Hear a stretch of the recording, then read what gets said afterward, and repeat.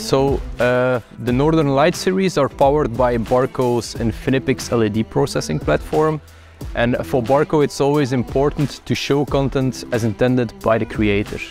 Uh, so artists, directors, graders, they spend a huge amount of time in nailing down the colors of their particular movie scene, game or digital artwork to evoke the right emotions. And the only way to get accurate color reproduction out of LEDs is by having full control of the entire uh, calibration process, as well as all the way up to the image processing system, which is driving the actual LED wall.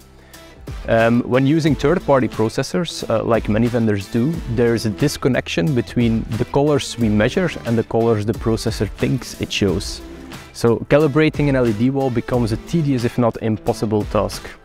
So Infinipix supports most common color standards and associated color gamuts uh, straight out of the box.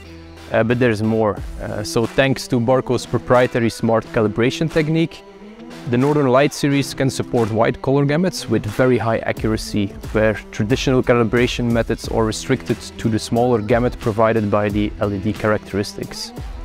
Smart calibration will uh, allow more saturation in the parts of the image that need it, while at the same time safeguarding the delicate parts of the image like skin tones.